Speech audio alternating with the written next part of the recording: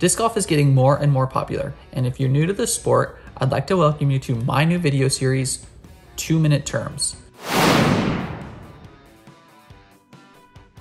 In this series, I will be giving a brief, general description of a new disc golf term in each video. As the series progresses, we will get deeper and deeper into the weeds of the sport. But for now, our first term is going to be, of course, disc golf. What is it? Disc golf is a sport played outside with a disc generally thrown at a basket. The game is played very similarly to traditional golf and is scored the same way as well.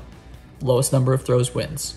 You can find most courses at public parks and can buy discs online at specialty stores and sometimes in those big box stores as well. Subscribe to my channel to be ready for the next two minute term video where we will be discussing something very important discs.